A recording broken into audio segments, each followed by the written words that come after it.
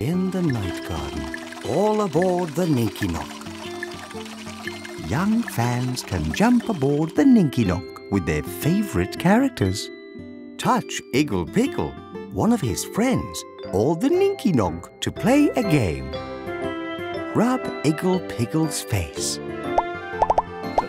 Build a tower by dropping blocks on top of one another above the Tombliboos platform.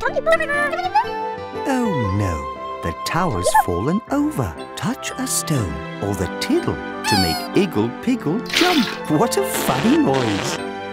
Let's colour in Upsy Daisy.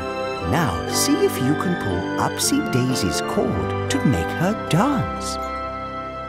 Tap the screen to make the Ninky Nonk go faster.